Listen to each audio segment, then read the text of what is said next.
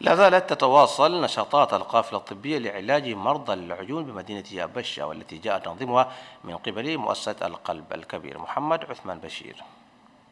في يومها الثالث على التوالي تتواصل أعمال الغافلة الطبية التي أقامتها مؤسسة القلب الكبير بمدينة أبشة على قدم وساق. حيث أن الأطباء التشاديين ونظرائهم السودانيين الذين يمثلون مؤسسة البصر العالمية السودانية لا زالوا يبذلون أقصى ما بوسعهم من أجل علاج هؤلاء المرضى الذين يعانون من العمى بسبب أمراض العيون المختلفة. ومن أجل تحفيز هؤلاء الأطباء والوقوف على حالات المرضى ممثلة مؤسسة القلب الكبير بإقليم وداي شمس الهدى بكر كدادة وفريقها في اللجنة التنظيمية يتجولون داخل المستشفى وحتى في مختلف غرف العمليات. عندنا 2956 مريض يعني كشفوهم وعندنا 448 مريض.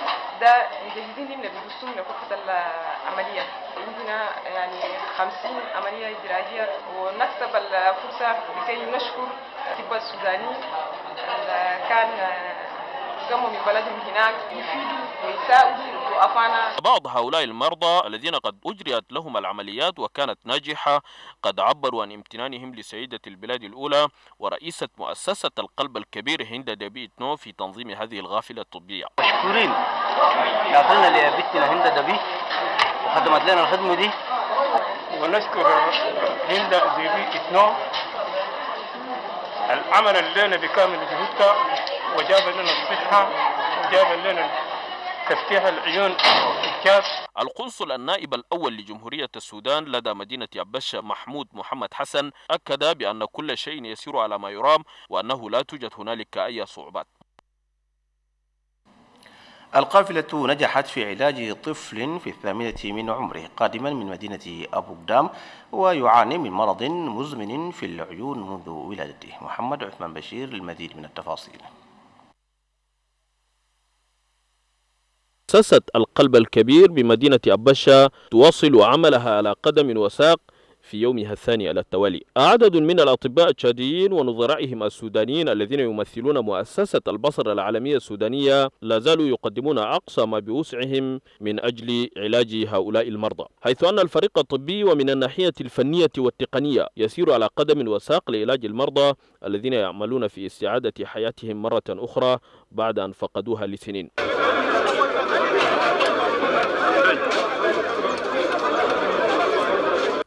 شمس الهدى بكر كدادة ممثلة مؤسسة القلب الكبير بإقليم وداي وفريقها في اللجنة التنظيمية قد اتخذوا من ناحيتهم كل التدابير اللازمة حتى يتحصل كل مريض على بطاقة مريض تمكنه من الحصول على العلاجات اللازمة.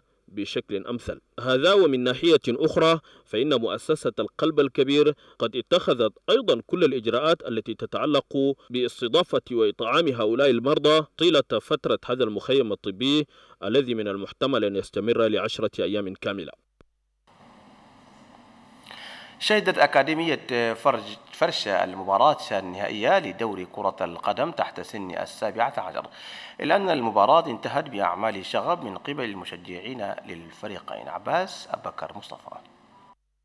المواجهة النهائية لمباريات كرة القدم تحت السن السابع عشر التي جمعت بين فريقي سيركل لمدينة مندو مع خصمه كلوب أفريكان لمدينة أنجمينا حيث أدى الفريقين مباراة لفتت أنظار المشاهدين تكتيكيا وفنيا وبهجمات متتالية لينتهي الشوط الأول وبنصيب كل فريق هدف.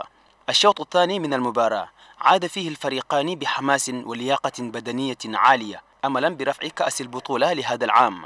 وكان الفريقان في أتم الاستعداد والسيطرة على مجريات المباراة هدف وتعادل لتصبح النتيجة النهائية هدفين للفريقين. مما دفع الحكم باللجوء إلى ضربات الجزاء. ومن هنا أضاء فريق كلوب أفريكان ضربتين من مجموعة ثلاث ضربات. وبالمقابل سجل فريق سيركل لمدينة مندو ضربتين بهدفين. وبات الأمر صعبا لكلوب أفريكان لمدينة أنجمينا فقد نزل مشجعي الفريقين إلى أرض الملعب لإثارة الشغب مما أدى إلى تدخل رجال الأمن.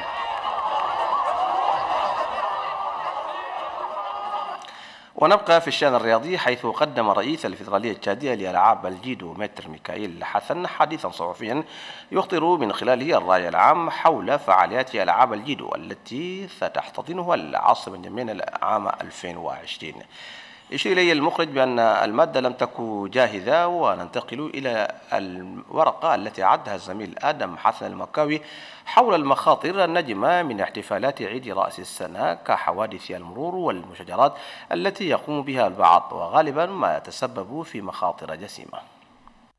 العام 2018 يبعد عنا بحسبة الوقت بساعات ودقائق معدودة فقط منا من سيعيش لحظاتها.